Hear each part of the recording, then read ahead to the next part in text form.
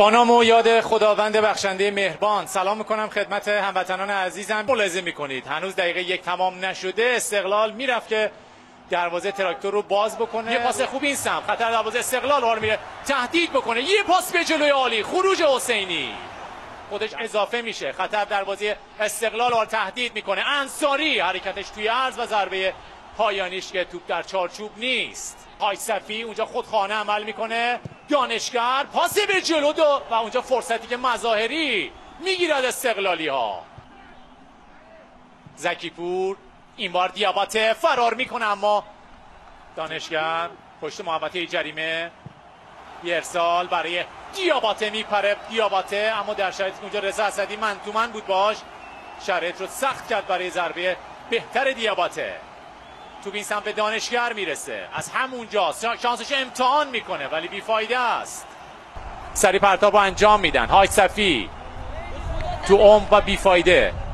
یک سوم دفاعی حریف. حالا رضاوند میرسونه اون سم خطر روی دروازه تراکتور. یه ارسال. دیابات ضربه سر رو می‌زنه. بالاخره یک موقعیت جدی رو به وجود میارن استقلالی ها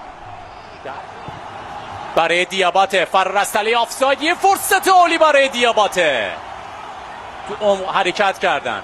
علی کریمی رو تو عرض می‌بینه. علی کریمی با پای چپ ضربه رو می‌زنه و تو بیرون میره. فضای خالی این سم پیش روی زکی پور هست. پاس به عقب. قائدی در برابرش اکبر ایمانی میاره تو عرض. ضربه رو می‌زنه قشنگم می‌زنه. مماس با تیر دروازه. دانشگر برای رضاوند. یه اشتباه یه اشتباه عجیب فرصت برای گل استقلال. چه اشتباهی رو اونجا شاهد بودیم از مدافعین تراکتور. اکبر ایمانی از راهی دور ضربه رو می‌زنه. دقیقا جایی که حسینی ایستاده. ادامه کار فرصت حالا این سم برای زکیپور یه توپی که به شکل اتفاقی بهش رسید و مظاهری. توپا چجوری در میاره؟ موقعیت خوب کم نداشته. استقلال و این هم ضربه عجیبه. علی کریمی. قائدی حرکت می‌کنه. در محوطه جریمه با پای چپ می‌زنه. دیابات همه چیز مهیاس برای یه ضربه تمام کننده که کسی نیست که این ضربه آخر رو خوب بزنه. کورنر.